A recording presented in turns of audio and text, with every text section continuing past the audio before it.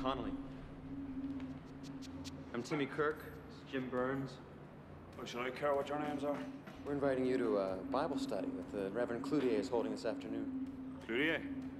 Who's Cloutier? Today's your conversion day, Park.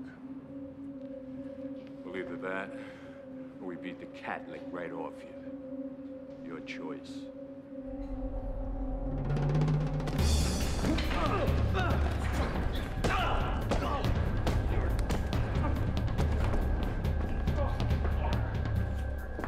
Burns, Burns.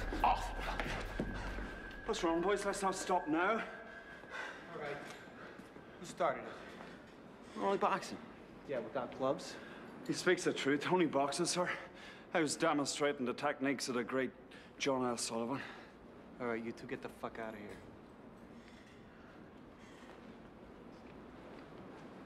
Listen, Padraic, if you want me to put you in protective custody, I will.